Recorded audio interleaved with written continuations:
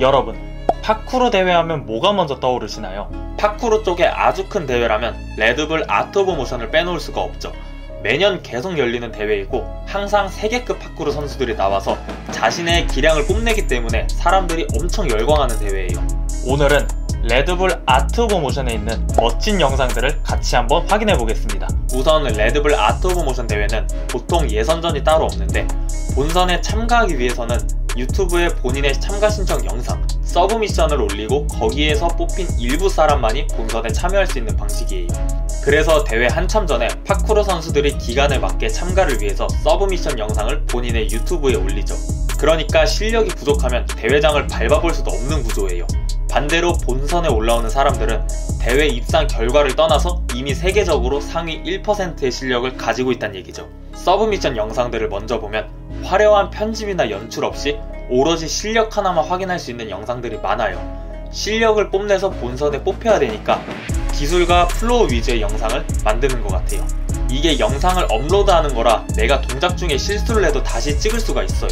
여러 개 찍어도 그 중에 완벽해 보이는 하나만 잘 올려도 되는 거니까 선수들이 좀 여유롭게 submission을 만들 수 있을 것 같긴 해요. 근데 또 반대로 아무리 다시 할 기회가 많아도 쉽지 않은 게 완성된 영상들을 보면 난이도가 장난 아니거든요. 기회가 많더라도 이 정도 quality의 움직임을 만들어내는 게 정말 박수를 안 칠 수가 없는 레벨이에요. 공중기를 하는 건 기본이고요. 잔 스텝이나 중간에 막히는 거 없이 본인 스스로가 어떻게 가는지 정확히 알고 있고 또 그걸 완벽하게 소화해내고 있어요. 옆으로 도는 트위스트 동작도 잘하고 철봉이나 벽, 어떤 장애물이든 다 잘 이용하는 것 같아요. 그러니까 이 정도는 돼야 참가해본다고 비빌 수가 있는 거죠. 이렇게 진행 후에 선발된 인원이 본선으로 올라가게 되면 본선은 각자의 순서에 맞게 한 명씩 진행되고 약 90초가량의 시간 동안 주어진 장소 안에서 실력을 뽐내면서 진행하면 되는 경기예요. 그리고 본인 차례가 끝나면 점수를 받고 그 점수가 높은 사람이 상을 받는 방식이죠. 코스를 빠르게 가서 목적지까지 가는 스피드 코스랑 정반대로 우아하고 몸으로 할 수 있는 움직임을 최대치로 만드는 경기예요. 말 그대로 Art of Motion의 경기인 거죠. 보통 파쿠르에선 프리스타일 경기라고 해요.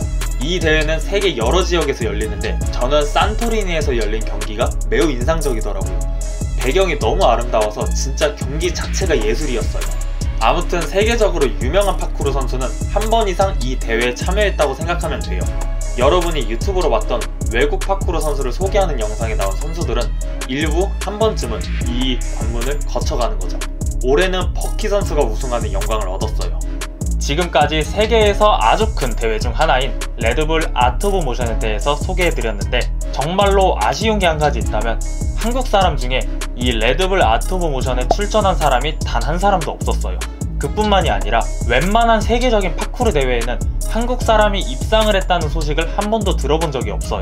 실제로 실력으로 따지면 현재 세계에서 한국 파쿠르가 좀 하위권에 있거든요. 어찌 보면은 꼴찌라고 해도 좀 과언이 아닐 수도 있어요. 그 이유가 왜 그러냐면